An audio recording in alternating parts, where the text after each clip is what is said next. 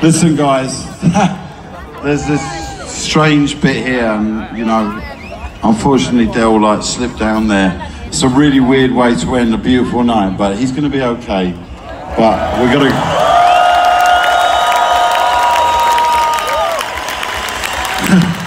we have to finish now, so thank you so much for a beautiful night, all right? See you again soon.